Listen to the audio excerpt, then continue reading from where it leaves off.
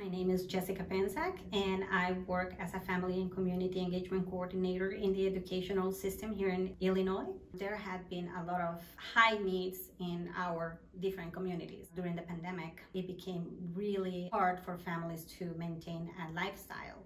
They needed to move out of their uh, house or an apartment and we needed to right away be able to connect them with the right sources. And that's why i'm so grateful with united way 211 or 211 because that source really helped families to find specific resources they needed at the right moment that they needed. We had families from losing their homes not having uh, money to pay the bills from not having food from having legal issues um, different areas of need that presented itself in 211 just came right at the moment. It just appeared. It's just like the prayers were answered. And then that sense of comfort and um, to tell the families you're not alone by directing them to 211 and for them to be taken care of, that was amazing. Let's make use of this tool. This is um, just something that you cannot find in every corner, everywhere, but we have it right here. So let's make use of it.